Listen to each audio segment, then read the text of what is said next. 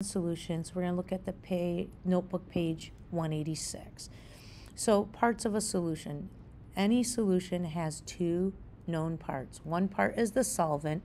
This is the substance that is present in the largest quantity. So whatever makes up the most mass or volume is the solution. The solvent is described as the material that does the dissolving. And in any given solution, there can only be one solvent per solution. The most common solvent in chemistry class or in everyday lives is water. And we know that we are working with a water-based solution if we notice at the end of a chemical formula, we see the AQ symbol for aqueous. So if this is my solution, the biggest component, that is the solvent, like water.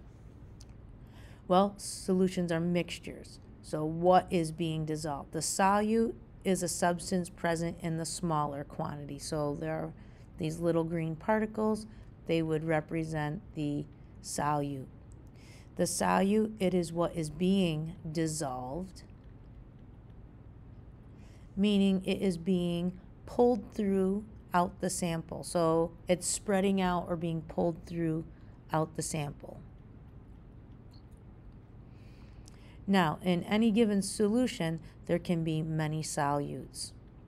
So, for example, like coffee, one of my favorite solutions. Many people drink coffee like me for the one solute, caffeine. But in the average cup of coffee, there is something like 130 different molecules dissolved in that water that produce the color, the flavor, plus the caffeine, the level of acid acidity in a cup of coffee. So there can be many solutes, but only one solvent.